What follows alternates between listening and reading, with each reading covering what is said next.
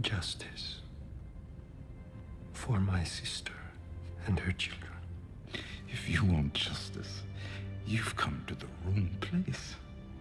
I disagree. I want to bring those who have wronged me to justice, and all those who have wronged me are right here.